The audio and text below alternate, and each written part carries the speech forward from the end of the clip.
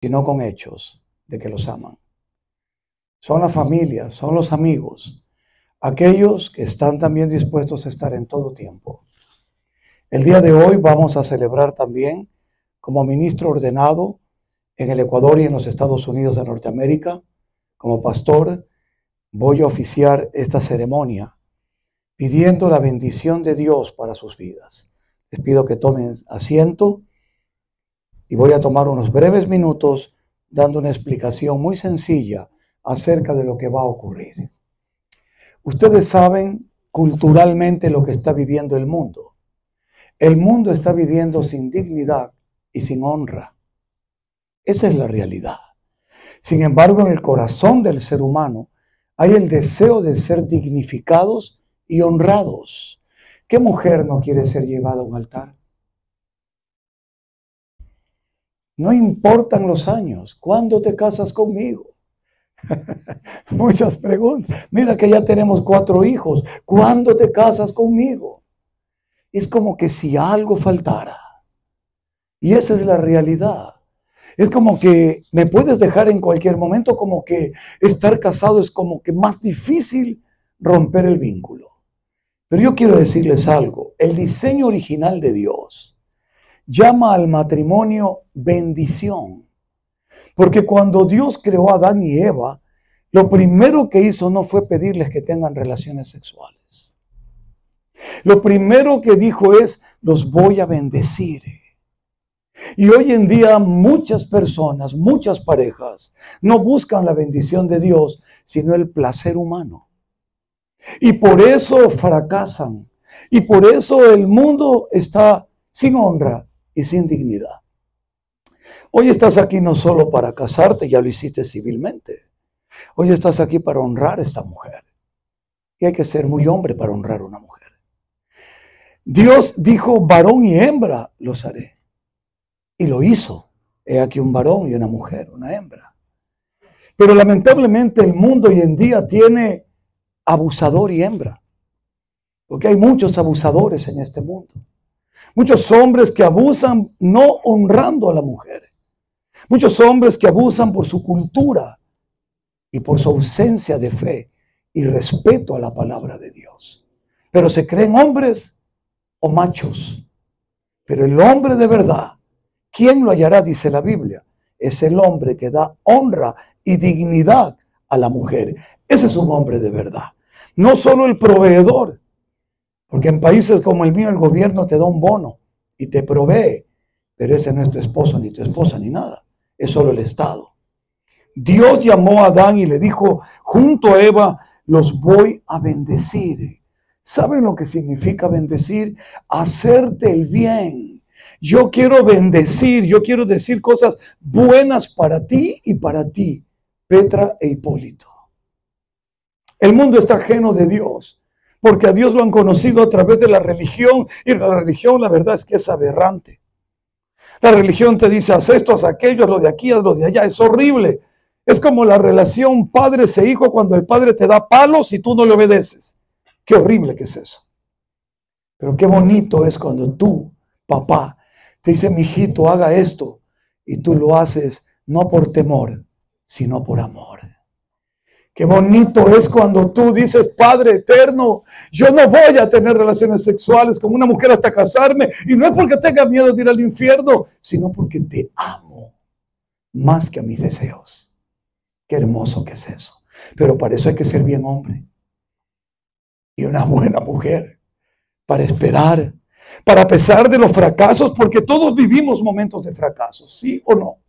Nadie es perfecto. Pero el perdón de Dios es tan grande que a través del sacrificio de su Hijo Jesucristo derramó su sangre. ¿Sabes para qué Petra, Hipólito y todos los aquí presentes? No para castigarnos, sino para perdonarnos. Y cuando Dios te perdona, ¿sabes lo que Él dice? Yo haré de ti una nueva criatura. Vamos a empezar de nuevo. Y dice la Biblia que el Señor les había preparado un lugar. Ustedes saben cómo se llama el paraíso, el huerto del Edén. ¿Y dónde es ese lugar? En el hogar donde ustedes van a vivir. Porque no es el departamento, ni la casa, el huerto, ni el paraíso. Eso es una construcción de cemento. Es el hogar. Porque en un huerto se siembra y se cosecha y hay fruto. En un edificio no. Solo hay cemento, alfombra, pintura y tumbados. Pero en un huerto, en un paraíso, hay el fruto del amor, que es lo que ustedes necesitan. Muchas parejas vienen a mí y me dicen, pastor, me casé hace 10 años con esta mujer, pero quiero divorciarme, ya no la amo. Y yo les digo, usted nunca la amó. No, no, no, no, no, usted se equivoca. Fueron buenos, 10 años muy buenos. No, no, no, le digo, es mentira. ¿Por qué? Permítame mostrarle Primera de Corintios capítulo 13. Dice la Biblia, el amor nunca deja de ser. No venga con cuentos de que usted ya no la ama. Usted nunca la amó. Porque cuando se ama con el amor que Dios derrama en el corazón del ser humano, ese amor es hasta que la muerte nos separe. Ese es un amor real y verdadero, no un amor ficticio y menos un amor de que vivamos juntos porque no me queda más. No, yo quiero vivir junto a mi esposa porque yo quiero vivir y morir feliz. Ese es el amor real y verdadero. El amor que Dios les ofrece y que ustedes, más allá de este documento que es importante y que determinará asuntos legales, Dios quiere la bendición de Él este documento legaliza el matrimonio. Y es legal. Pero cuando Dios bendice, dice, no solo es legal, es legítimo. Y lo legítimo es mayor que lo legal. Porque hay muchas cosas legales, pero que no son legítimas. Hoy ustedes están haciendo algo legal y algo legítimo.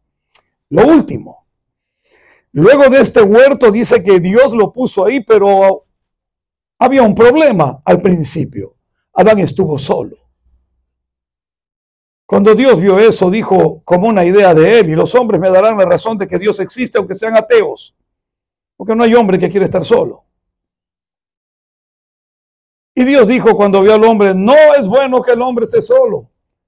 Así que más le vale que crea en Dios, porque usted si se siente solo y no quiere estar solo, es porque la idea de él es que usted tenga una compañera. Esa es la idea del Padre. No quiere que nadie muera solo. Quiere que estemos acompañados. Entonces dijo, le haré ayuda idónea. No dijo, le haré una modelo. No le dijo, le haré un mujerón 90, 60, 90. No, no, le dijo, le haré una ayuda idónea. O sea, una compañera ideal. Con la que pueda caminar, con la que pueda vivir, trabajar, sentir, compartir, caminar juntos donde sea, compartir todos los momentos necesarios. Ese es el amor real. El resto es deseo que al paso de los años el deseo se envejece, pero el amor en la vejez rejuvenece. Ese es el amor del que hoy vamos a bendecir y vamos a derramar desde el cielo por la palabra bendita de Dios. ¿Saben qué es lo más hermoso de la historia de amor de Adán y Eva? ¿Cuántos de ustedes saben que, según el relato bíblico, Eva y Adán fallaron, verdad? Porque comieron de aquella fruta prohibida, ¿verdad? Y entonces tuvieron que salir del huerto del Edén.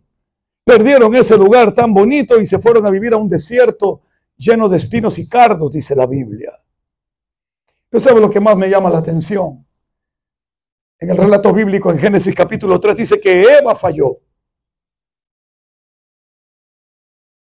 Y no le estoy echando la culpa a Eva, estoy honrando el amor de los dos. No hay un solo registro bíblico que diga que Adán dejó a Eva. Y tú dirás, es que se quedaba solo. pues nadie quiere estar solo. Yo solo sé que hay algo que Adán aprendió bien de Dios, no abandonar. Y hay muchos hombres que se creen hombres porque abandonan. Adán nunca abandonó. Hipólito, nunca la abandones. Nunca. Tal vez vayas a fallar y tú también. Dios los libre. Pero que eso sea el paso para recordar que cuando el hombre o la mujer cayeren, no van a quedar postrados ahí porque escrito está que Dios sostiene de la mano. El mundo te pisotea. Dios te dice, hija, hijo, levántate.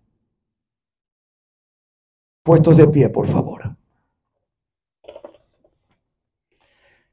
En este momento, bajo la ley divina, las sagradas escrituras, conforme a la bendita palabra de Dios, voy a proceder, Hipólito y Petra, como ministro ordenado de la iglesia de nuestro Señor Jesucristo, y bendito sea el nombre del Padre, del Hijo y del Espíritu Santo, en quien casamos y bendecimos.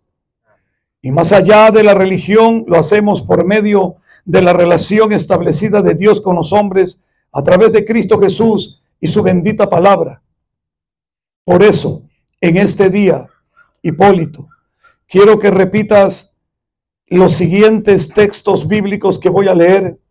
Y de la misma manera tú, Petra, quien hoy ya por lo civil son esposo y esposa. Y esa es una bendición de Dios. Pero esto es lo que en primer lugar voy a decir. ¿Estás de acuerdo, mi querido Hipólito, en expresar promesas bíblicas para mantenerte en unidad con quien ya es legalmente tu esposa, Petra? Sí. ¿Y tú, Petra, estás también de acuerdo? Amén. Amén, que así sea. Pues entonces vamos a empezar con esos votos bíblicos que fueron dados por dos seres humanos extraordinarios y que cuando los leo en verdad toca mi corazón porque veo como una mujer tuvo en su corazón un amor tan profundo para poder declarar en su corazón que nada podría separar el verdadero amor. Repita conmigo, mirándola a ella. Amada Petra, Amada Petra, esposa mía, esposa mía, nunca me pidas que te deje, nunca me pidas que te deje, ni que me aparte de ti, ni que me aparte de ti, porque a donde quiera que tú fueres, porque donde quiera que tú fueres, iré yo contigo, iré yo contigo. y donde quiera que tú vivieres, Y donde quiera que tú vivieres, yo viviré contigo. yo viviré contigo. Tu pueblo será mi pueblo, Tu pueblo será mi pueblo, y tu Dios será mi Dios. y tu Dios será mi Dios. Donde tú murieres, Donde tú murieres, moriré yo, moriré yo, y allí seré y sepultado. allí seré sepultado. Que así me haga Dios, Que así me haga Dios, y aún me añada, y aún me añada, que solo la muerte hará separación entre que nosotros. solo la muerte hará separación entre nosotros. Amén. Amén. Dele el micrófono a ella. Petra diga lo siguiente, mi amado esposo Hipólito, Mi amado esposo Hipólito, nunca me pides que te abandone, nunca me pides que te abandone, ni siquiera que me aparte de ti, ni siquiera que me parte de ti, porque donde tú decidas establecerte, que donde tú decidas establecerte, allí estaré yo contigo. allí estaré yo contigo. Tu pueblo será mi pueblo, Tu pueblo será mi pueblo, y tu Dios será mi y Dios. tu Dios será mi Dios. Donde tú murieres, Donde tú murieres, moriré yo contigo. moriré yo contigo. Que así me haga Dios, Que así me haga Dios, y aún me añada, y aún me añade, que solo la muerte hará separación entre nosotros. mirando a tu esposa, mi querido Hipólito, permítame el talí. Antes de consagrar la bendición sacerdotal en este día,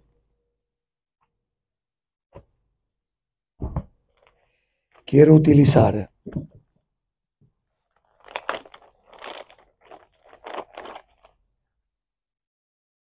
dos elementos sumamente importantes en el pueblo de Dios. La kippah,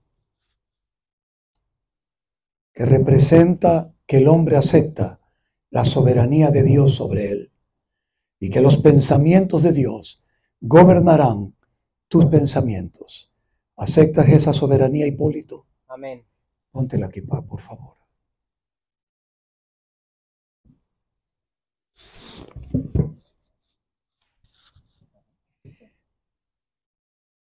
El manto es algo extremadamente importante en las costumbres del pueblo de Dios, pues representa la protección divina. ¿Cuántos hemos leído el Salmo 91? El que habita al abrigo de Dios morará bajo la sombra del Omnipotente. Ahora tú que vives bajo la sombra del Omnipotente, Con este manto cubrirás a tu esposa Petra para que ella viva bajo tu sombra y por ende bajo la sombra del Omnipotente también.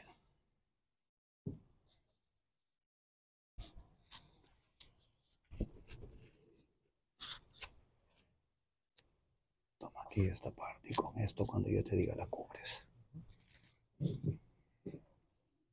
Hipólito, en este día, tomando la mano de tu amada esposa Petra, te comprometes delante de Dios a protegerla y cubrirla con tu amor y vivir juntos bajo la sombra del Omnipotente.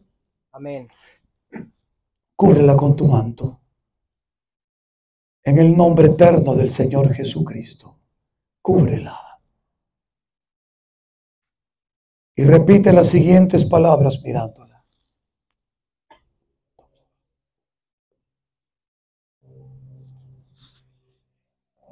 Yo, Hipólito, Yo, Hipólito, te tomo por esposa en este día, te tomo por esposa en este día, delante de Dios Padre, delante de Dios Padre, Hijo y Espíritu Santo, Hijo y Espíritu Santo, y prometo amarte y prometo amarte todos los días de mi vida, todos los días de mi vida, hasta que la muerte nos separe hasta que la muerte nos separe o hasta que Cristo venga. o hasta que Cristo venga. Seré tu proveedor, Seré tu proveedor, tu protector tu protector y el hombre que te acompañe y el hombre que te acompañe todos los, todos los días de tu vida. todos los días de tu vida. Así lo prometo hoy, Así lo prometo hoy. en el nombre de Jesús. En el nombre de Jesús. Amén. Amén. Denle el micrófono a ella, sosténgale. Petra, diga usted lo siguiente. Yo, Petra, Yo, Petra, prometo delante de Dios prometo delante de Dios amarte, Hipólito, amarte Hipólito todos los días de mi vida. todos los días de mi vida. Prometo, según las Escrituras, Prometo según las escrituras obedecer la bendita palabra de Dios, obedecer la bendita palabra de Dios, honrarte y respetarte honrarte y respetarte hasta que la muerte nos separe hasta que la muerte nos separe o Cristo venga. o Cristo venga. Amén. Amén. Permítame el micrófono. Puede si quiere quitar el manto. Hipólito y Petra, ustedes se han puesto anillos también en su mano. El ministro oficiante civil dijo algo muy importante. Los anillos son hechos en círculo. El círculo no tiene fin, pero hay algo importante que debe reflejar esos anillos. Hoy ustedes se los pueden poner, porque sobre esos anillos está la ley y va a estar la bendición de Dios cuando oremos en este momento. Para poder declararlos legítimamente casados delante de Dios. Acerquen sus manos, por favor, aquí. Padre, en el nombre eterno de Jesucristo. Caso esta pareja, bendito Señor, conforme a los estatutos bíblicos, bendiciendo sus vidas, bendiciendo, Señor, también el símbolo del matrimonio que son estos anillos, para que cada vez que ellas los vean, que puedan ver estos anillos, recuerden, símbolo de fidelidad, símbolo de protección, símbolo de amor, símbolo de unidad, Señor, símbolo de solidaridad, Padre mío, símbolo de consuelo en caso de la partida de uno de ellos. Pero principalmente símbolo de fe, porque es por fe que te agradamos a ti, mi Señor. Yo bendigo las vidas de ellos, bendigo estos anillos también, bendito Dios. En el nombre de Jesús. Amén. Hipólito y Petra, como ministro del Evangelio de nuestro Señor Jesucristo y de acuerdo a sus divinas enseñanzas otorgadas en la bendita palabra de Dios, y habiendo tú profesado tu fe y tu amor delante de Dios y los hombres, sello este tiempo otorgándote la bendición y preguntándote una vez más delante de Dios como testigo. ¿Tomas por esposa y mujer hoy y para siempre a Petra? Amén. Y tú, Petra, tomas delante de Dios hoy y para siempre como esposo y marido a Hipólito. Amén. Siendo así, delante de Dios, yo los declaro marido y mujer, esposo y esposa. Que Dios los bendiga rica y abundantemente, hoy, mañana y siempre, y que esta bendición prevalezca y sea derramada para sus hijos, para sus nietos y por mil generaciones. Puedes besar a tu amada esposa.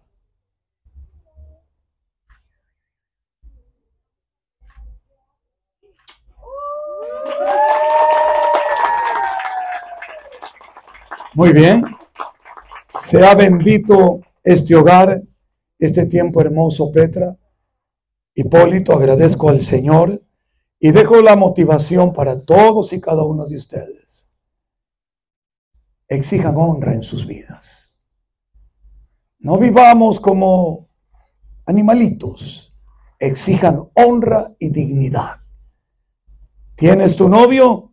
Dile que te demuestre que es hombre pero no de manera horizontal, sino aquí vertical, frente al altar y con la bendición de Dios. Eso es ser hombre. El resto es otra cosa. Hipólito, que Dios te bendiga. Petra, de la misma manera, sean benditos por siempre. En el nombre de Jesús y juntos decimos, amén, amén. y amén. Bendiciones.